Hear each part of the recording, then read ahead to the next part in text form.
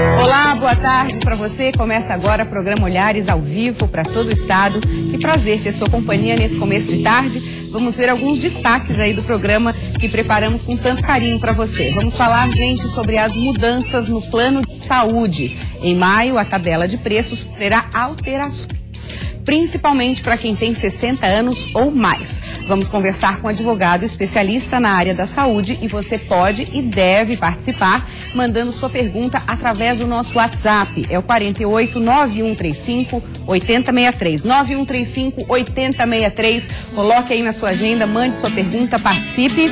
Vamos falar também sobre um assunto que gera polêmica: adiar a primeira menstruação. Será que vale a pena apostar em tratamentos hormonais em adolescentes?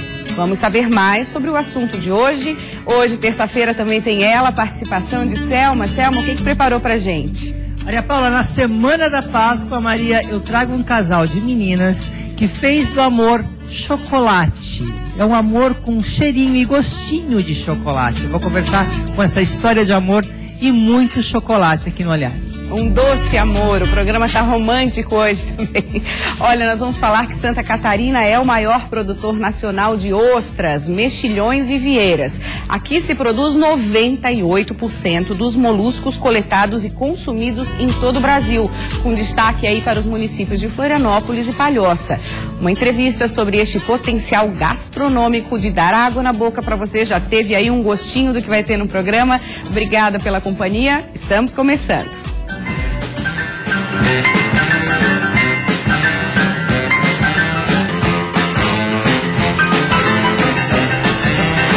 A ginecologista, a doutora Ivana. Um prazer tê-la aqui, tudo bem? Boa tarde, prazer é todo meu. Nosso tema é a questão da primeira menstruação, Sim. né? E esses tratamentos que estão sendo cada vez mais divulgados para adiar, esse, adiar, desculpa, atrasar esse processo, né? Uhum. Também adiar, de certa forma.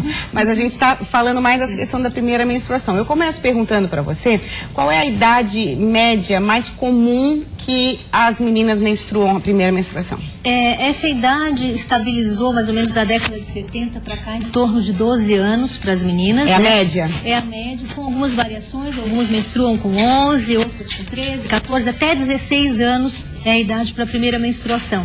Mas a menina pode menstruar a partir já dos 10 anos de idade, sem ser precoce, Uhum. tá? Varia muito, né? Varia bastante, a média é 11, 12 anos, né? Mas ela a partir dos 10 anos já pode ter a primeira menstruação. A alimentação está muito relacionada nessa questão? Tá, você acredita que essa idade veio baixando com os anos, que antigamente as mulheres menstruavam mais tarde, né? Muito em função da, da mudança dos hábitos alimentares. Uhum. Agora, existe uma crença de que com a primeira menstruação, essas meninas param de crescer. É fato? Não, depois que a menina menstrua, ela cresce em média de 4 a 6 centímetros ainda, tá? Uhum. Então ela não para de crescer. Tem algumas variações, algumas meninas que crescem um pouquinho mais, 8 centímetros, 10 centímetros depois, mas em geral de 4 a 6 centímetros depois da primeira menstruação. Eu pergunto porque muita gente acaba optando por esse tratamento para adiar a menstruação, eh, justificando isso.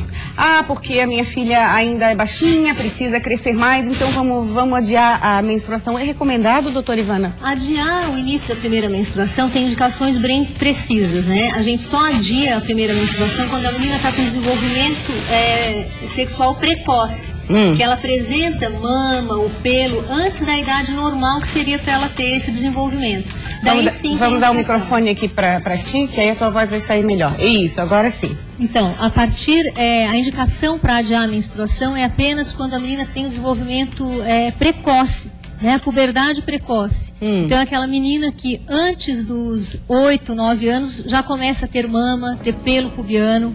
Então, essas meninas podem se beneficiar, né? às vezes até antes, a gente tem meninas com puberdade precoce com 5, 6 anos, Que começam a aparecer que- os primeiros sinais. isso, então, é- essas meninas vão ter benefício de suspender ah, o desenvolvimento puberal e, com isso, retardar a menstruação, senão elas vão menstruar antes dos 10 anos. Uhum. Tá? E também a gente não pode usar medicamento para suspender a menstruação inadvertidamente, porque esses medicamentos também vão ter efeitos colaterais indesejáveis nas meninas. Isso é muito perigoso, que a gente estava conversando, conversando antes, a questão do, do modismo, né? Não dá para embarcar nessa. Não dá para embarcar nessa, uhum. tem que ter indicação. A indicação é adiar uma puberdade precoce. Se a menina está desenvolvendo a puberdade naturalmente, na idade normal, ela deve menstruar na idade natural, que é em torno de 12 anos, 11, 12 anos. Como é que é feito esse tratamento? A gente estava conversando a, é a base de hormônios. Sempre a base de hormônios, porque o que faz a gente menstruar é a regulação de dois hormônios, estrogênio e progesterona. Então, se eu quero suspender as menstruações, eu vou ter que sempre medicar com hormônios para suspender a produção desses dois hormônios naturais. Né? Então, se eu dou hormônios para suspender a menstruação, eu posso ter efeitos colaterais indesejáveis, como, por exemplo, provocar uma osteoporose precoce numa menina. Tá? Hum. Então, isso é, é, um dos efeitos, né? Então, a gente tem que ter indicações bem precisas. E se eu indicar, por exemplo, hormônios para suspender a menstruação numa menina que tem uma idade óssea já de 12 anos, ela não vai ter nenhum benefício em termos de estatura final. Se o objetivo é que ela cresça mais e a idade óssea dela já tiver de 12 anos, ela não vai crescer mesmo usando o tratamento hormonal. Não vai servir para nada e ainda pode Pode ter os efeitos colaterais indesejados. É, é, muito comum, doutora Ivana, essa, essa dúvida no seu consultório de que ah, ela menstruou, agora vai parar de crescer? Isso é uma pergunta frequente das mães, é. né? A gente tem que lembrar que o principal fator para o crescimento é genético, então não adianta a mãe ter 1,60m e o pai 1,65m e querer que a menina tenha 1,75m e seja não um modelo. Dá. Milagre né? não tem. Então o principal fator é genético, né? uhum. né? Uhum. o desenvolvimento puberal também interfere no crescimento final, mas se a menina menstrua na época adequada, ela vai continuar crescendo em torno ainda de 4 a 6 centímetros. Existem exames, né, que, que preveem essa questão de estatura? Como é que, como é que Não, é o, a previsão da estatura final, é igual prever que você vai ganhar na loteria, né? Porque são tantos os fatores envolvidos, se a criança tem algum problema de saúde, como é que foi o crescimento e o ganho de peso dela em toda a infância, como é que é a genética, a estatura dos pais. Ah, que eu já vi gente mostrar, por exemplo, o raio-x da, da mão, que mostra algumas coisas. Então, então, esse raio-x é para avaliar a idade óssea, porque a gente sabe que a gente para de crescer com a idade óssea em torno de 16 anos para as meninas. Hum. Então, esse raio-x vai te dar uma estimativa né, do potencial de crescimento da, da menina. Entendi. Tá bom, quero agradecer muito, doutora Ivana. Obrigada. Tirando aí nossas dúvidas, eu sempre digo que é uma consulta que a gente faz ao vivo aqui e com a sua participação também, né? Muito bacana, obrigada mesmo. Quero desejar uma feliz Páscoa, estamos na Semana da Páscoa. Obrigada e para todos que estão nos ouvindo também. Para você também, obrigada. Selma, com você? É isso aí, Maria Paula. A gente está chegando naquela semana mais gostosa do ano, que é a semana da Páscoa. Gente, aquela semana que a gente esquece do regime, a gente esquece de tudo na vida e só quer pensar em chocolate. Aí eu conheci duas meninas essa semana que passou que fizeram aí uh, da Páscoa um grande negócio e começaram agora, né? É um casal de meninas muito bonitas, que é a Tauana e a Fran. Obrigada que estão fazendo chocolates. Tudo bom, meninas? Tudo certo, graças a Deus. Como é que surgiu? O que vocês faziam antes de fazerem chocolate? Eu trabalhei a minha vida inteira com seguros e a Fran trabalhava como auxiliar de escritório. Uhum. Trabalhava numa empresa de engenharia. E aí e... começaram a namorar e não falavam em chocolate só falava em chocolate. eu sou chocolatra viciada. Tem a ver por mulher se atrair muito de chocolate, questão TPM, essas coisas. Tá estressada, come um chocolate? Ela tem muito isso. Tem bastante. Peguei ela bem no ponto fraco, no chocolate. chocolate. Quando a gente brigava, eu ia agradar ela, eu dava chocolate. chocolate. Verde de flores, chocolate. Mais ou menos por aí. Eu não sou muito fã de chocolate. Uhum. Então, não é fã de chocolate? Não tinha disputa. Uhum. Ela ficou feliz porque não tinha que disputar a barra de chocolate comigo. e aí vocês decidiram, então, ah, vamos fazer chocolate. Como é que surgiu a ideia de chocolate? Então, como a gente trabalhava em dois ambientes totalmente diferentes, a gente pensou, oh, vamos fazer alguma coisa, abrir uma coisa nossa uhum. e vamos começar a trabalhar juntos, porque a gente pode ficar mais grudadinha também, né? Uhum. Então, por que não o doce? Uhum. Aí surgiu a ideia do chocolate. A gente conseguiu começar a trabalhar com chocolate muito bom, que é de boa qualidade. Você comentou comigo que fazia antes essas palhinhas italianas. Isso, começamos né? com as palhas, que fizeram um sucesso enorme. Na verdade, foi a partir da, da palha que a gente inventou de fazer o, o ovo, né? Pra Páscoa, trabalhar com ovos. Ah, vocês tiveram a ideia de fazer um ovo de palha de A chocolate. gente pensou, já que fez tanto sucesso o palha italiana, por que não fazer um ovo de palha italiana? Aham. Então, E, e, e a surpresa de vocês quando começou a. Então, começou, a primeira encomendinha foi 20 ovos. A gente disse, meu Deus, 20 ovos. muita coisa. É, agora já passaram dos 200 nessa palha. 15 dias. Tiveram que ser do emprego e ficar só fazendo ovos. Isso. Não, a gente, a gente largou tudo. O emprego a gente largou desde o começo. Quando a gente começou com a palha, a gente já largou tudo. Que a palha também, graças a Deus, muito gostosa e já começou a fazer sucesso do agora. ano passado com a palha, na verdade, né? Então, E como é que vocês fazem para entregar? Vocês não têm uma loja física? Vocês. É, a, gente, a gente só trabalha pela internet. Nossa página do Face, Instagram e o nosso WhatsApp. Sim. Então, a partir daí a gente combina. O pessoal que mora no centro, mora em tal lugar, a gente vai montando nosso roteiro e entregando. Eu tava comentando com as meninas aqui, dá pra dar um closezinho aqui nos chocolates delas, que a gente vai no supermercado e, e vê os chocolates todos muito caros. E tem, tem coisas fora do comum, tipo uma barra de chocolate de uma marca famosa aí, sete reais, e o chocolate da mesma marca, do mesma base de chocolate, 50 reais, né? E como é que faz pra diminuir isso aí, que vocês conseguem fazer um preço bem menor, assim? Então, a gente começou a trabalhar com chocolate belga. A gente consegue ele num preço acessível e consegue repassar isso para o consumidor. Ou seja, a gente tem um produto de boa qualidade num valor bem abaixo do mercado. A gente está conseguindo manter isso. O, o chocolate agora, só nesse ano, quando a gente começou a trabalhar, teve três aumentos. Sim. Então, Ainda um- assim. ainda assim é vantagem. Teve que repassar um pouco para o consumidor, mas mesmo assim é vantagem. E nessa época de crise, todo mundo quer algo bem mais barato e não quer perder a qualidade, né? Foi daí do nosso sucesso, porque quem conhece nosso produto sabe da boa qualidade. Quem vê o valor disse, nossa, é isso aí. Meninas, agora eu tava conversando com elas aqui sobre a história de muitas vezes querer fazer ovo em casa. Que tem pessoas, eu mesmo sou uma, você se, arrisca a fazer ovo em casa e sai tudo errado. Qual é o segredo pra dar certo? De não, não, não, desandar o negócio. então, essa semana uma amiga me mandou uma mensagem no WhatsApp. Tal, tô derretendo chocolate e coloco na forminha. Quando eu pego na mão, fica minha digital nele. Daí eu ensinei pra ela. A gente aprendeu. Olha a dica em casa. tem que fazer, tem que dar um choque térmico no chocolate. Tá. O chocolate não pode ter contato com a água, então ele tem que, tem que ter uma mania de esfriar ele bem rápido, tá? Depois que derreter o chocolate, ou joga no mármore e mexe ele até ele esfriar, até ele ter um ponto para colocar na forminha. Ou, no nosso caso, a gente coloca em banho-maria na água, nossa, a nossa cumbuquinha. Na água fria, Na água gelada. fria. tira da torneira mesmo, não precisa ser gelada. É. E Dá o choque um minutinho, né? Um minutinho e meio no máximo. Só bota na forminha. Esse é o segredo pra não derreter. Pra não derreter isso. Ele vai ficar na forminha, que depois, na hora que pegar, ele não vai ficar com, com a marca da sua da, mão. da- da digital. né? Exato, exato. E qual é o melhor de chocolate se trabalhar? Pra quem quer fazer, para quem. Qual é o melhor então, tipo de o chocolate? do mercado que tem, eh, o da Nestlé é muito bom. É? É, porque assim, ó, a gente, a gente compra em fornecedores grandes, a gente compra em grandes quantidades. Aquelas então, barras enormes. é, a gente compra chocolate em gotas, na real, de Ah, tanto que vem. gotas. 10 quilos, né? A gente tá É. comprando. É, então, mas pro, pro consumidor assim que for procurar no mercado, o da Nestlé é muito bom pra fazer, pra Ah, fazer isso aí. não foi o comercial dela aqui. e elas fazem aqui também essas caixinhas que são uma graça. Olha só que graça as caixinhas. que- Gente, essas caixinhas com o nome para dar de presente é uma graça.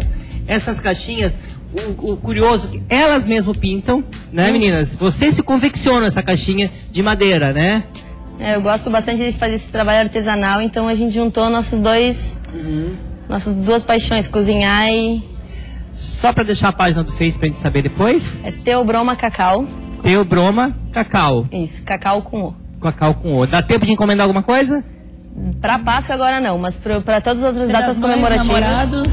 É. Chocolate, sai por aí. Não vai faltar. Obrigada, viu, meninas? A gente agradece. Sucesso pra vocês. Maria Paula, tá afim de comer um chocolate, Maria Paula? Já reserva pra mim o palha italiana aí que eu gosto. Obrigada. Ah, obrigada também. Até quinta, Selma. Olha, agora nós vamos conversar com o doutor Eduardo, que é advogado especialista aí em direito da saúde, sobre esse aumento previsto a partir de maio nos planos de saúde, principalmente, eu acho que é só para quem passou de 60 anos. É isso, doutor Eduardo? Isso, exatamente. Hum. Na realidade, Maria Paula, é, tem dois reajustes que se aplicam no contrato. O primeiro é pela inflação anual.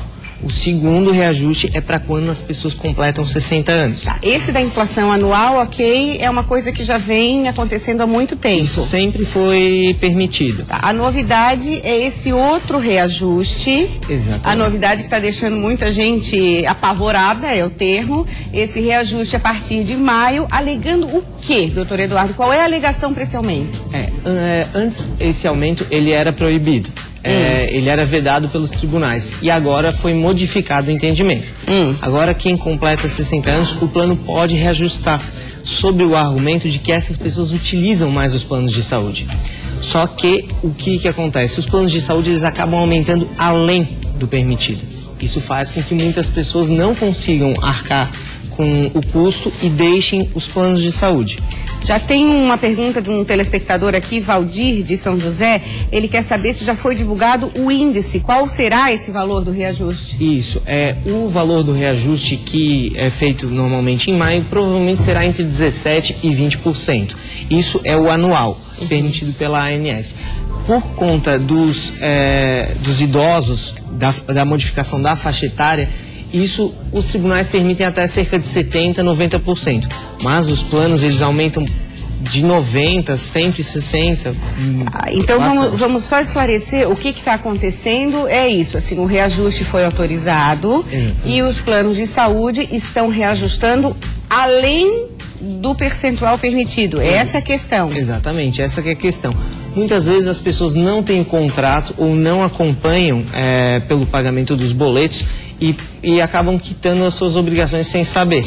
Então, assim, a, a nossa recomendação é que para que os idosos, os familiares, confiram tanto no contrato se está previsto o reajuste, o quanto que ele tem sido feito para estarem atentos sobre as eventuais ilegalidades. A norma, não disse de onde, a norma diz o seguinte: o senhor não acha que um reajuste desse é arbitrário e vai acabar inviabilizando os nossos pagamentos? Exatamente, ele é arbitrário, então é, quando for verificada essa ilegalidade, a gente recomenda que entre em contato tanto com um advogado de confiança quanto nos próprios sites da ANS, é, procurar o PROCON ou órgãos de saúde para ajuizar a sua desse reajuste. Outra pergunta: como vou saber se o reajuste é válido ou abusivo?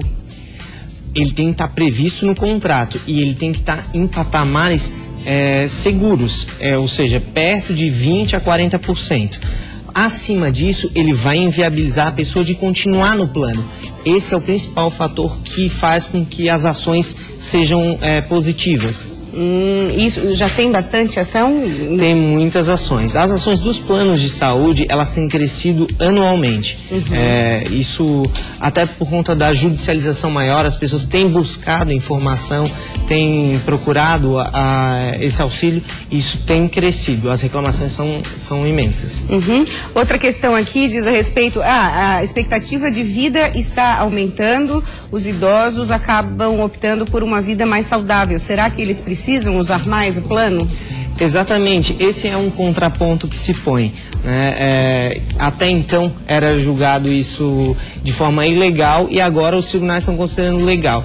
Porque, na realidade, é, estatisticamente falando, se utiliza mais. né? Então, é, isso foi autorizado. Isso, justo ou não, é o que os tribunais têm entendido. Tá, e uma outra pergunta de um telespectador, que medidas posso tomar para escapar do aumento abusivo? Exatamente, as pessoas têm ajuizado ações e logo de início nós pedimos uma, eh, se chama antecipação de tutela, né, um pedido liminar, em que desde já o, o reajuste ele é vedado pela justiça. Então, mesmo durante o trâmite do processo, a pessoa continua pagando o valor que, que era antes do aumento. Ah, não precisa esperar chegar esse Até o aumento. final. Não, Pode não se antecipar. esperar. Isso.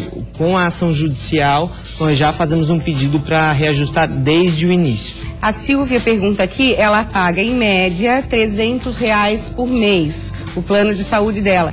O senhor sabe quanto poderei, até quanto poderei pagar? É, é, normalmente isso vai variar e o aumento pode, pode acontecer até cerca de 450, 500 reais. Até aí seria tolerado. De 300 para 450. Próximo a isso. Tá, Próximo a isso. tá. Acontece que muitas vezes os planos de saúde vão aumentar cerca de para 700 reais, 900 reais, muitas vezes até quatro vezes o valor que tinha sido E antes. aí a gente, é o que a gente estava comentando, inviabiliza, Inviabiliza qualquer, completamente. qualquer completamente. possibilidade. Outra coisa, doutor Eduardo, é a queixa. Ah, ok, eu vou entrar na justiça, é necessário que eu faça alguma coisa. Ah, a demora desse processo tem demorado? Como é que está o trâmite? É, é, na realidade, vão separar as ações de, em duas formas. Os primeiros são as de baixo valor.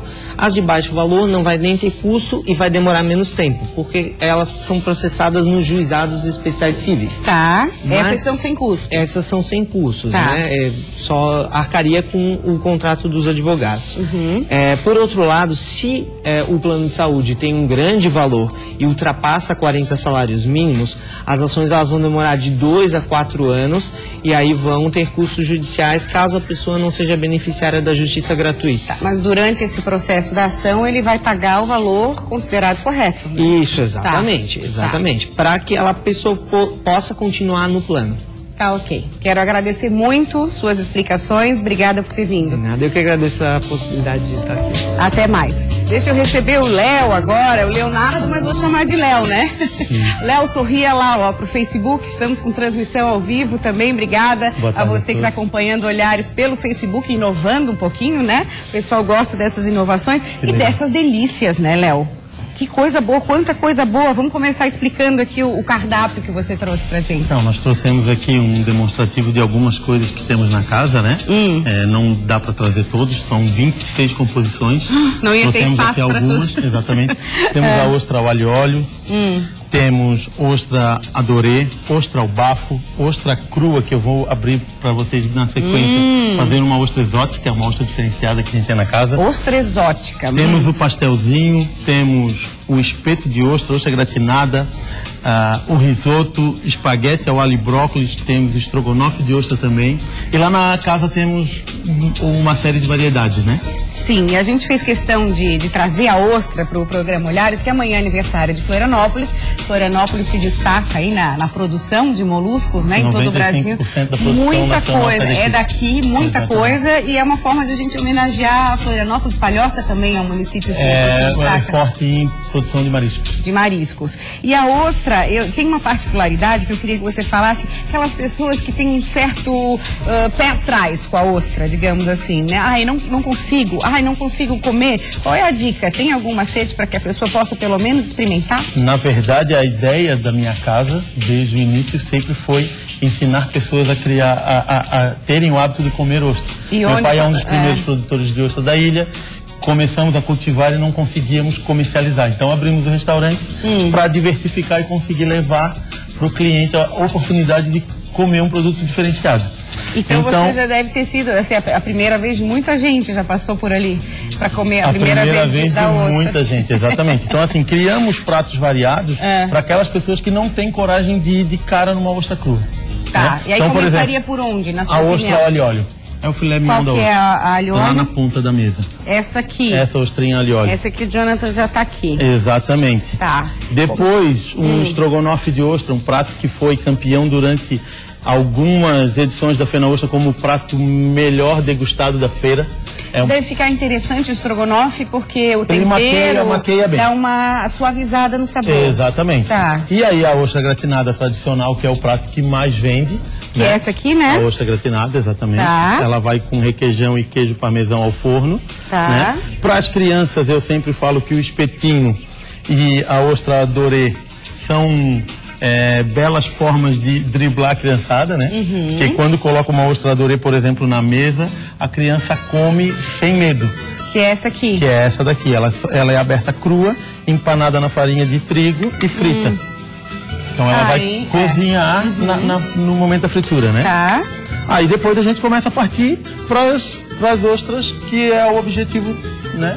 De comer ela crua é o verdadeiro comedor de É essa é a ostra exótica. Eu vou encarar essa. Vamos preparar uma então? Eu adoro ostra. Vou abrir aqui, ó, Tá. ao vivo.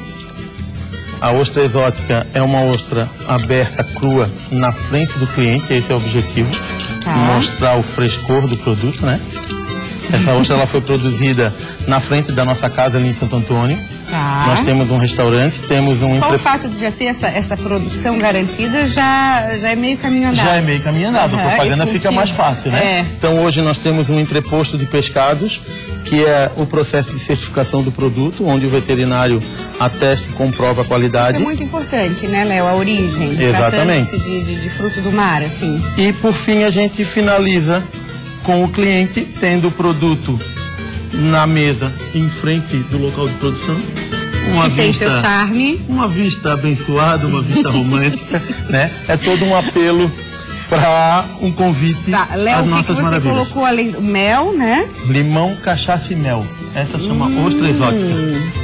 Bebe Hum, ela, cheirinho. mastiga bem. É a favorita do Nader, ele tá aqui falando. Hum, muito né? boa. E para quem gosta de agridoce, é uma pedida perfeita. É só virar que ela tá soltinha. Tá soltinho? Isso, pode virar. Hum. Essa foi uma invenção que a gente criou em Quem tá em 2009. casa e gosta de outra essa hora, ai, que inveja. Não só quem tá em casa, olha ali o pessoal ali, ó. Todo mundo, olha que delícia. Tá todo mundo esperando o momento. Acho, Léo, vamos falar um pouquinho dessa. Eh, você trouxe aqui algumas amostras do potencial gastronômico que uma ostra tem. Isso é muito legal. É, eu, eu falo, eu trabalho com ostras há 27 anos, meu pai é o primeiro produtor de ostra da ilha. Nós temos o restaurante fez em janeiro 19 anos. E assim, temos receitas de mais de 60 tipos de ostra. Eu falo que a ostra é uma carne tão nobre que ela aceita qualquer aplicação. Ah. Então imagina que o, o que tu lançar na ostra, ela vai absorver Ela e vai absorve. promover o sabor. E da onde vem essas receitas? Deve ter bastante processo de teste. É, como- na verdade, assim, eu participei da criação de um livro de receitas com a Univale Hum. em 2010, Uhum. é, onde temos inscritas é, essas mais de 60 composições. Né? Durante a Fena Ostra, que é uma festa nacional da ostra, que a ideia é levar para o público inovações, a gente procura participar dos concursos gas- gastronômicos.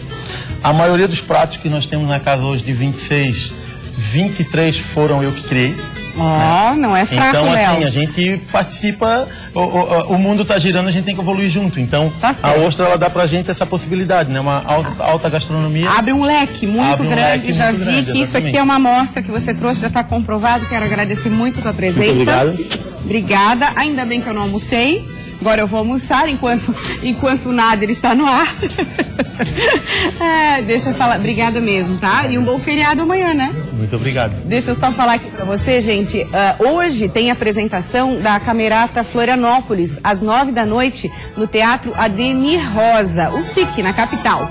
Essa é a terceira edição do espetáculo Canção e conta com a participação de vários artistas, como o grupo Expresso Rural. O evento é uma homenagem ao aniversário de 290 anos de Florianópolis. A gente encerra o programa com imagens da Camerata. Fique agora com o Repórter Band e amanhã a gente se vê. Tchau!